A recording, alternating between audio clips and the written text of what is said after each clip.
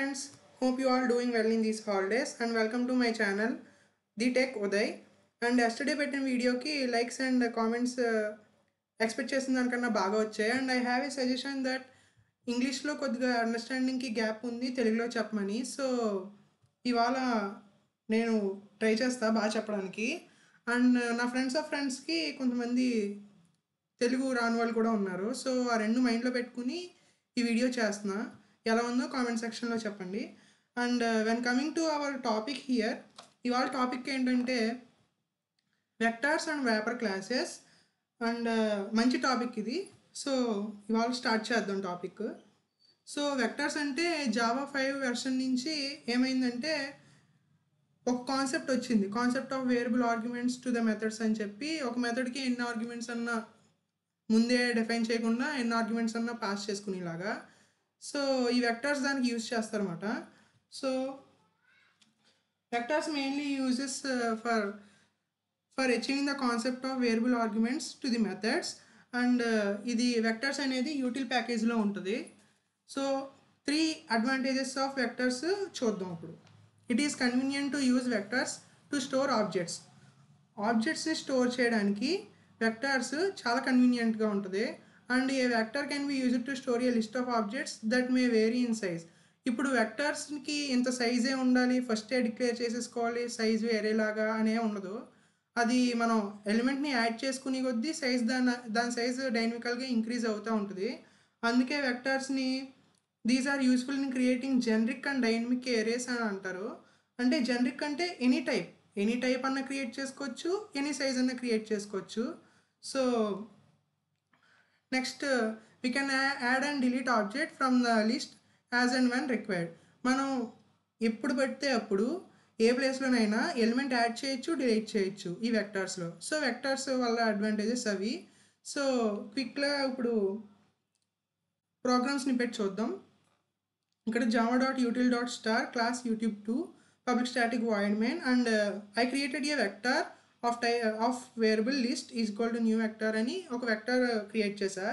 So ఇక్కడ vector create చేసాక ఒకసారి వెక్టార్ మెథడ్స్ ఏమున్నాయో ఒకసారి చూద్దాం. I hope you will understand these very easily so ఇక్కడ some of the important method vector methods ఏంటో చూద్దాం. ఈ ఇది ఏంటంటే method call and related task performed ఇవి స్క్రీన్ షాట్ కూడా తీసుకోండి ఎక్కడ దొరకవు. So list dot add element అంటే ఎలిమెంట్ని యాడ్ చేస్తుంది. లిస్ట్ డాట్ ఎలిమెంట్ యాడ్ అంటే ఆ పొజిషన్లో ఉన్న ఎలిమెంట్ ఏంటా అని ఇస్తుంది. సైజ్ అంటే సైజు రిమూవ్ ఎలిమెంట్ ఈ మెథడ్ చదవగానే మీకు అర్థమైపోద్ది. ఏం చేస్తుంది అని. రిమూవ్ ఎలిమెంట్ అంటే ఆ ఐటెంని డిలీట్ చేస్తుంది నెక్స్ట్ రిమూవ్ ఎలిమెంట్ అట్ అంటే ఆ ప్లేస్లో ఉన్న ఐటెంని డిలీట్ చేస్తుంది రిమూవ్ ఆల్ ఎలిమెంట్స్ అంటే అన్నీ డిలీట్ చేస్తుంది కాపీ ఇంటూ వేరే ఇది కొద్దిగా కొద్దిగా చూడండి. ఇది అంటే ఒక ఎరేలోకి ఈ లిస్ట్లో అంటే వెక్టార్లో ఉన్న ఎలిమెంట్స్ ఎరేలోకి కాపీ చేయడానికి ఈ మెథడ్ వాడతారు. ఇది ఇవాళ నేను ప్రోగ్రాంలో కూడా వాడా. And list dot insert element at అని ఇది స్పెసిఫైడ్ ఎలిమె ఐటమ్ ఏ పొజిషన్లో ఇన్సర్ట్ అవ్వాలో అని చెప్తుంది. ఇది కూడా ఇవాళ ఈ రెండు కొద్దిగా డిఫరెంట్గా ఉంటాయి కాబట్టి ఈ రెండు వాడా. ఇవాళ ప్రోగ్రామ్స్ పెట్టు. సో ప్రోగ్రామ్ చూద్దాం. ఇక్కడ class YouTube two public static void main so మీకు అందరికీ తెలిసిందే ఇక్కడ నుంచి స్టార్ట్ అవుద్ది ఎగ్జిక్యూషను ఇక్కడ నేను వెక్టర్ ఒకటి క్రియేట్ చేసా దాని పేరు లిస్ట్ అని పెట్టా. So int length equal to ARGS dot length ఇక్కడ ఏఆర్జిఎస్ డాట్ లెంత్ అంటే ఇక్కడ ఇంకో కాన్సెప్ట్ ఉంది. ఏఆర్జిఎస్ అని string ARGS these these are called command line arguments అంటాం. అంటే కంపైల్ టైంలోనే ఒక మెథడ్కి ఆర్గ్యుమెంట్స్ పాస్ చేయగలిగితే దాన్నే కమాండ్ లైన్ ఆర్గ్యుమెంట్ అంటాం. So whenever we pass arguments to a particular method or main method during compile time ఇది it is called command line arguments ఇక్కడ ARGS అనేది మనం ఇచ్చిన ఆర్గ్యుమెంట్స్ని తీసుకుంటుందన్నమాట. ఇది స్ట్రింగ్ ఏరే సో ఇక్కడ అందరికీ చిన్న యునో ఇక్కడ లెంత్ అని వచ్చేసేసరికి అందరికీ చిన్న కన్ఫ్యూజన్ ఉంటుంది. లెంత్ అని ఒక కీవర్డ్ వాడాలా? లేకపోతే లెంత్ అని ఇక్కడ పారాన్సిస్ పెట్టాలా? మెథడ్ లాగా అని. ఇక్కడ ఎప్పుడైనా కానీ ఆ డౌట్ ఇప్పుడు నేను క్లారిఫై చేద్దాం అనుకుంటున్నా. ఎప్పుడైనా కానీ ఒక ఎరే యొక్క లెంత్ మనకి ఫైండ్ అవుట్ చేయాలంటే లెంత్ అనేది వాడాలి. ఎప్పుడన్నా ఒకవేళ స్ట్రింగ్ స్ట్రింగ్స్ అలాంటి వాటి లెంత్ కనుక్కోవాలంటే అప్పుడు స్ట్రింగ్ డాట్ లెంత్ అని మెథడ్ వాడాలి. ఓకేనా? I hope you understand so let's go into the the program length equal equal to dot dot length అని చెప్పి ఇక్కడ లెంత్ అనే దానికి దీని లెంత్ ఎంతో అక్కడ కమెంట్స్ కమెంట్ లైన్ ఆర్గ్యుమెంట్లో అవి ఎన్ని ఐటమ్స్ ఉన్నాయో వాటి లెంత్ పంపించా. అండ్ ఇక్కడ లిస్ట్ డాట్ యాడ్ ఎలిమెంట్ అంటే ఇందాక చూపించా కదా ఇక్కడ. List dot add element item అంటే ఏం చేస్తుంది? ఆ ఐటెంని మన వెక్టార్లోకి యాడ్ చేస్తుంది. సో అలా ఇక్కడ లూపు అయ్యే వరకు యాడ్ అయిపోతూ వెళ్ళిపోతే నెక్స్ట్ ఇక్కడ ఏం చేశానంటే list dot insert element at COBOL at position two అన్న. అంటే ఇక్కడ మీకు చూపించా కదా లాస్ట్ నుంచి సెకండ్ మెథడ్ ఇది ఏం చేస్తుందంటే లాస్ట్ లాస్ట్ మెథడ్ ఇక్కడ insert element at item comma N అంటే ఇది ఇన్సర్ట్ చేస్తుంది. ఏ పొజిషన్లో కావాలితే ఆ పొజిషన్లో మనకి ఏ ఐటమ్ కావాలితే ఆ ఐటమ్ ఇక్కడ ఇన్సర్ట్ చేసింది. సో ఇక్కడ మీరు ఇక్కడ ఇంకోటి చెప్పాల్సింది ఏంటంటే ఇక్కడ వెక్టర్ క్రియేట్ చేశారు కదా వెక్టర్కి మనం ఎప్పుడు ఎరే లాగా ముందే ప్రీడిఫైన్ సైజ్ ఏమి ఇవ్వక్కర్లే. ఆటోమేటిక్గా అదే ఇంక్రీజ్ అవుద్ది. ఒకవేళ మీరు ఇచ్చినా ఏం ప్రాబ్లం లేదు. అదే ఇంక్రీజ్ అవుద్ది లాస్ట్లో సో ఇక్కడ యాడ్ చేసా అండ్ ఇక్కడ సైజ్ వెక్టర్ సైజ్ ఇప్పుడు మనకి ఎప్పుడన్నా వెక్టర్ సైజ్ కావాల్సి వస్తే లిస్ట్ డాట్ సైజ్ అని వాడాలి. Vector vector name dot size అని వాడితే వి గెట్ సైజ్ అనమాట సో ఇక్కడ ఒక స్ట్రింగ్ ఎరే క్రియేట్ చేసా ఎందుకంటే మన వెక్టార్లో ఉన్నాయి ఒక ఎరేలోకి ఎలా కాపీ చేయాలని చూపించడానికని ఇక్కడ ఒక స్ట్రింగ్ ఎరే క్రియేట్ చేసా ఆ స్ట్రింగ్ ఎరేలోకి మన వెక్ లిస్ట్ అనే వెక్టార్లో ఉన్న ఎరేలో ఉన్న ఐటమ్స్ లిస్ట్ ఏరియా అనే స్ట్రింగ్ ఏరియాలోకి కాపీ చేసా అండ్ ప్రింట్ చేసా సో ఇప్పుడు మనం అవుట్పుట్ చూడగానే మీకు ఒకసారి అర్థం అవుద్ది. అవుట్పుట్ చూద్దాం.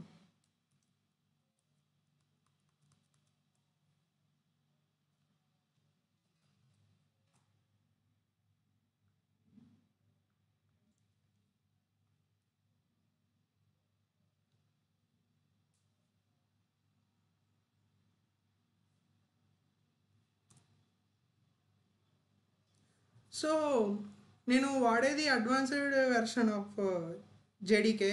So ఇలా వచ్చిన వీ కెన్ కంపైల్ మాట ఇప్పుడు. సో ఇక్కడ లిస్ట్ ఆఫ్ లాంగ్వేజెస్ అని చెప్పి మనం ప్రింట్ చేసాం. ఇక్కడ చూడండి ఇక్కడ నేను కంపైల్ చేసినప్పుడే ఇక్కడ ఆర్గ్యుమెంట్స్ ఇచ్చేస్తున్నా కదా. అలా ఇచ్చేస్తే అక్కడ ఏఆర్జిఎస్ అనేది తీసుకుంటుంది ఇప్పుడు. అండ్ uh, ఇవన్నీ ఒక లిస్ట్లో పెట్టుకున్న తర్వాత ఇక్కడ మనం సిఓ బిఓఎల్ని సెకండ్ పొజిషన్లో యాడ్ చేసాం కదా అది ఇక్కడ సెకండ్ పొజిషన్లో యాడ్ అయింది. అంటే జీరో వన్ టూ అని కన్ఫ్యూజ్ అవ్వద్దు. యాడ్ అయింది మళ్ళీ ఇక్కడ ప్రింట్ చేస్తాం. అంతే this is the output I hope you understand it very well ఇప్పుడు మనం ఎప్పుడు కూడా వెక్టర్స్ దేనికి వాడతాం అంటే చెప్పానుగా to achieve concept of variable arguments to the methods ఇప్పుడు ఎప్పుడు వెక్టర్స్ని వెక్టర్స్ ఎప్పుడు ఆబ్జెక్ట్స్నే స్టోర్ చేసుకోగలుగుతాయి. ప్రిమిటివ్ డేటా టైప్స్ని స్టోర్ చేసుకోలేవు. సో మనం ఒకవేళ వెక్టార్స్లోకి ప్రిమిటివ్ డేటా టైప్స్ కనుక స్టోర్ చేయాలనుకుంటే we have to convert them into objects so ఇక్కడే మనకి వ్యాపర్ క్లాసెస్ అనే ఒక కాన్సెప్ట్ వస్తుంది. వ్యాపర్ క్లాసెస్ అంటే మనకి ఉన్న ప్రిమిటివ్ డేటా టైప్స్ని ఒక ఆబ్జెక్ట్ లాగా మార్చడానికి వ్యాపర్ క్లాసెస్ వాడతారు. సో ఈ క్లాస్లో ఈ క్లాస్లో కూడా నేను వ్యాపార క్లాసెస్ చెప్దాం అనుకుంటున్నా. So once go into wrapper classes ఇది వ్యాపార క్లాస్కి నేను రాసిన ఒక కోడ్.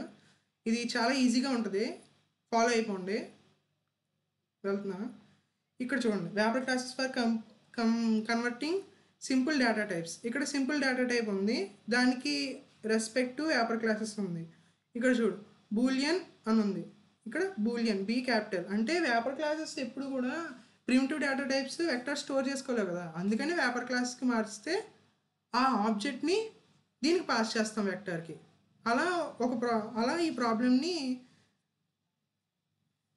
ప్రాబ్లమ్ని సాల్వ్ చేస్తున్నాం అన్నమాట వ్యాపర్ క్లాసెస్ ద్వారా. సో కంక్లూజన్ ఏంటంటే వేపర్ క్లాసెస్ ఎందుకు ఉపయోగిస్తారు అంటే ఎప్పుడైనా మనం ప్రోగ్రామింగ్ చేసినప్పుడు ఒక ప్రిమిటివ్ ఆర్ సింపుల్ డేటా టైప్ని ఒక ఆబ్జెక్ట్లా క్లాస్ ఆబ్జెక్ట్లా మార్చడానికి వ్యాపర్ క్లాసెస్ వాడతారు సో ఇక్కడ రెస్పెక్ట్ టు సింపుల్ డేటా టైప్స్కి దానికి తగ్గ వ్యాపర్ క్లాసెస్ ఉన్నాయి.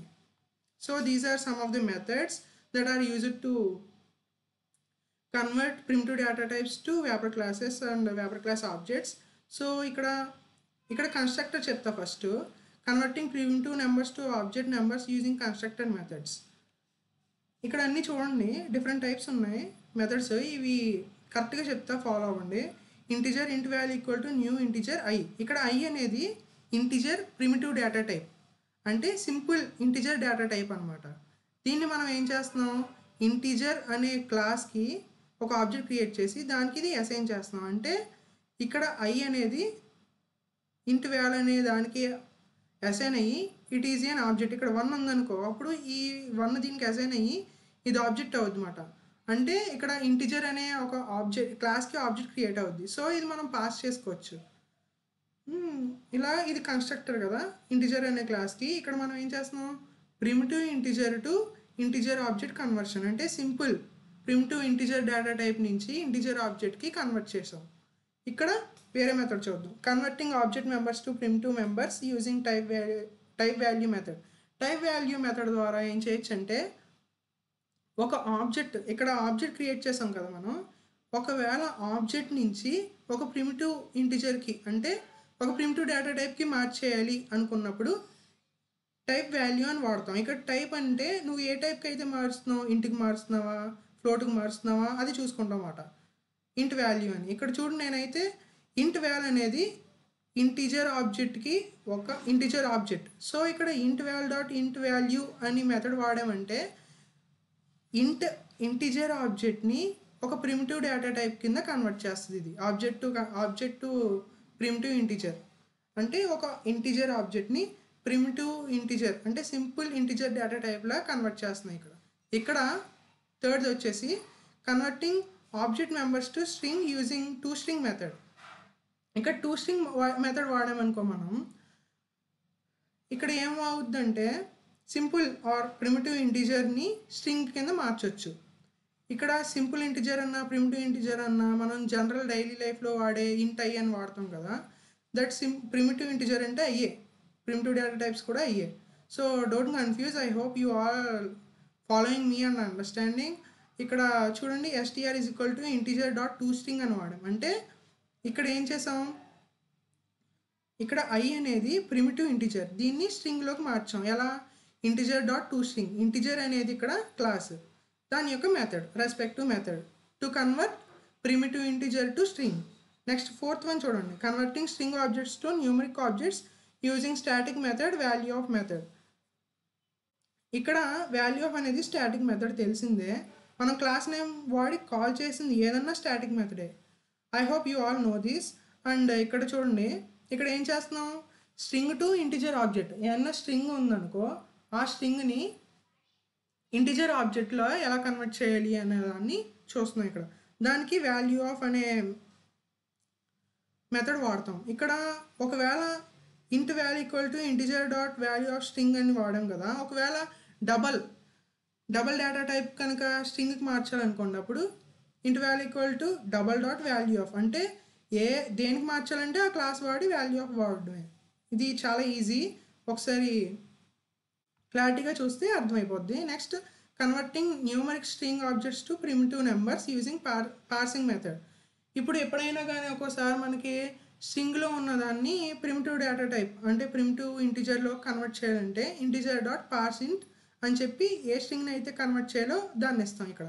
ఇక్కడ ఇది మేజర్గా ఏం చేస్తుందంటే స్ట్రింగ్ని ప్రిమిటివ్ ఆర్ సింపుల్ డేటా టైప్లో కన్వర్ట్ చేస్తుంది. ఇక్కడ నేనైతే ఇంటిజర్ తీసుకున్నా. Int I equal to integer dot parse int STR అంటే స్ట్రింగ్ డేటా టైప్ని సింపుల్ ప్రిమిటివ్ ఇంటిజర్లోకి కన్వర్ట్ చేస్తుంది. I hope you all understand this and ఇప్పుడు జస్ట్ కోడ్లోకి వెళ్ళిపోదాం.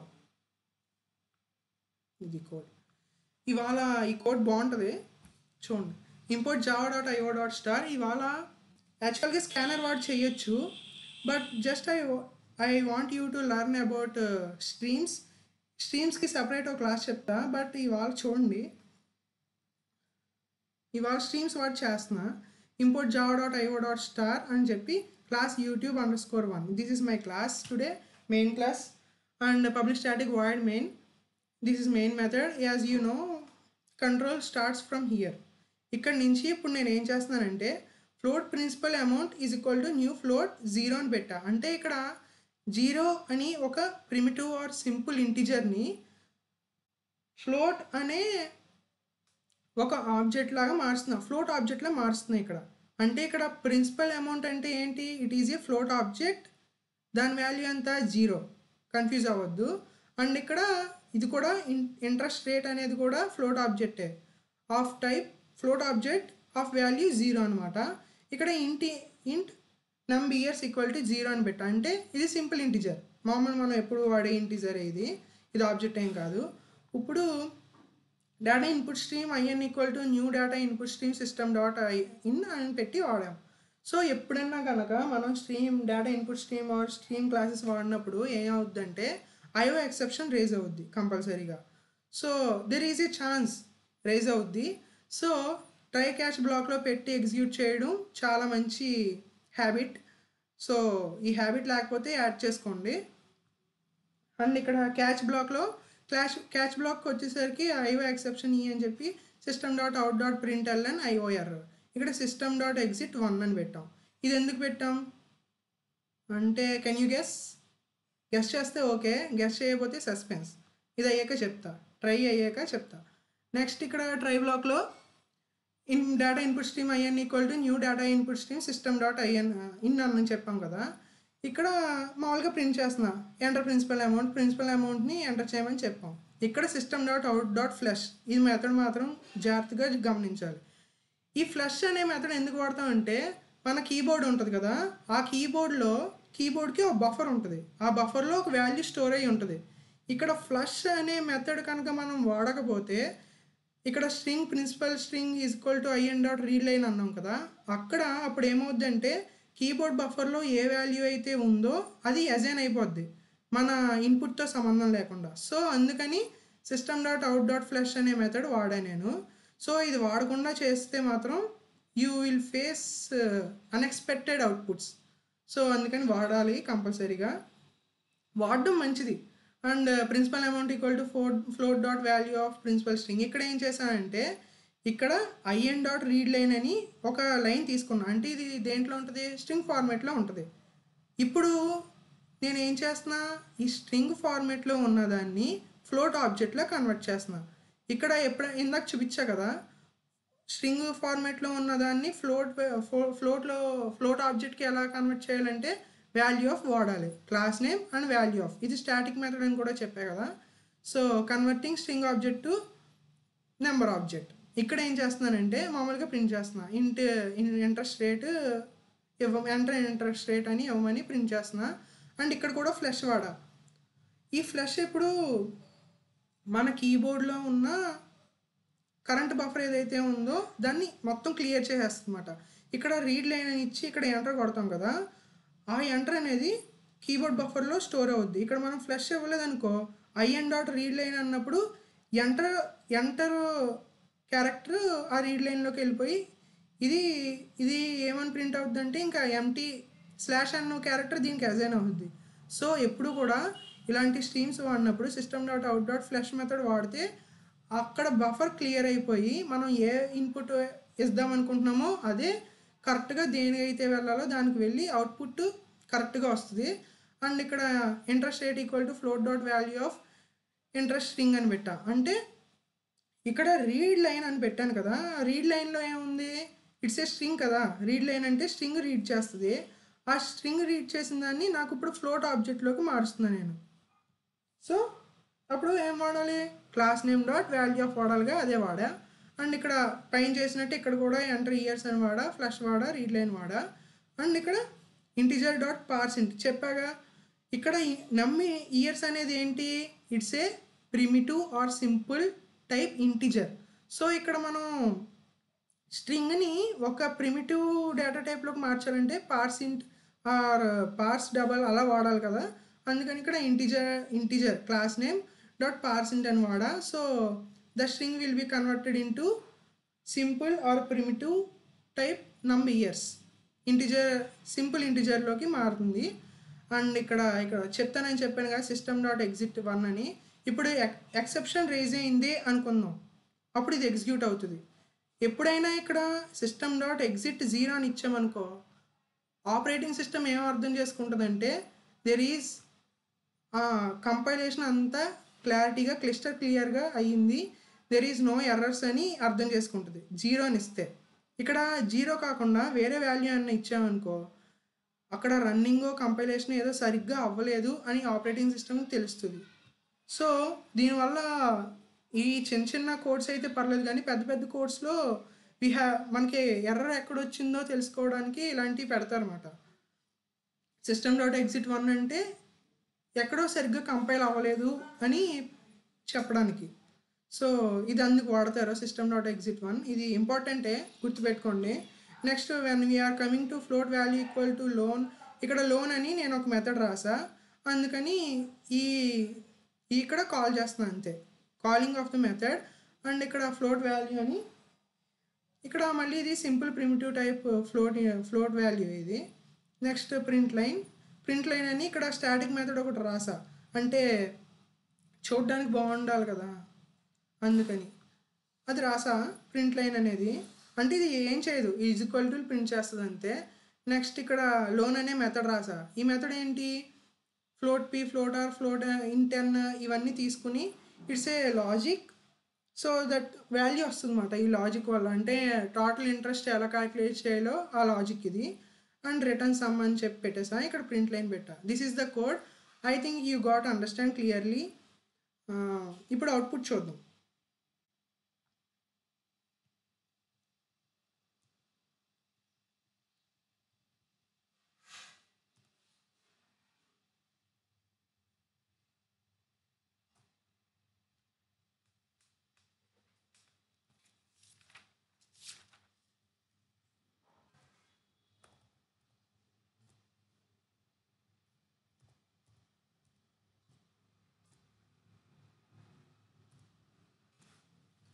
సో మనకు final value is equal to eight seven four five dot zero three one అని వచ్చింది.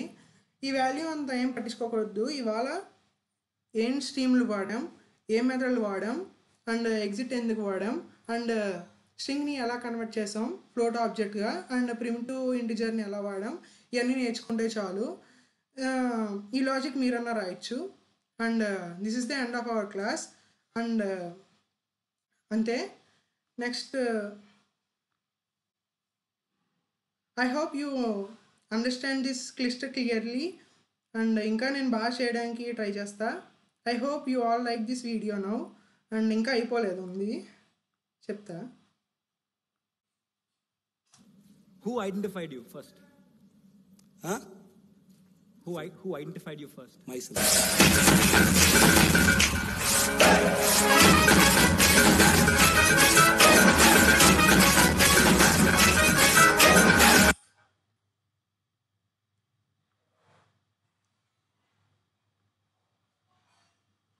So video నచ్చితే please like share and subscribe to my channel the tech Uday thank you